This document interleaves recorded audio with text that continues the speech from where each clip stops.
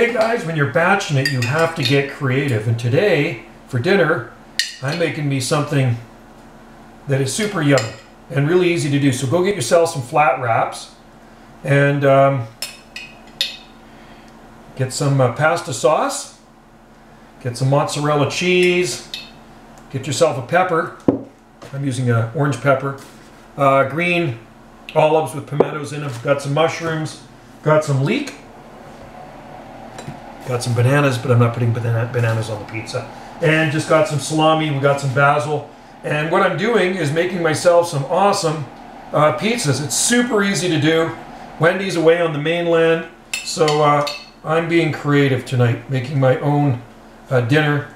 And uh, sometimes I make dinner here, but most of the time she makes a lot better dinner than I do. But I think this is going to taste pretty yummy. Wendy and I often make these pizzas. So simple to do. You don't have to be kneading uh, dough to make the pizza to make the pizza crust. Just use these flat wraps and uh, spread some sauce around on it. Pizza sauce works awesome. A lot of times she puts, uh, I think she puts cream cheese down first or something on the uh, on the on the uh, on the bread here on the flat wrap, and then she puts the uh, the sauce. But no, not me. I'm not much into cream cheese. So this is what it looks like. I'm heating up the oven now, and uh, they're good to go. Just bake it till it melts. Keep an eye on it because it could probably burn pretty quick. Throw them in the oven at 350 for so many minutes. Like I say, keep an eye on the oven, and you'll have yourself a good dinner. All right, looks pretty good, doesn't it?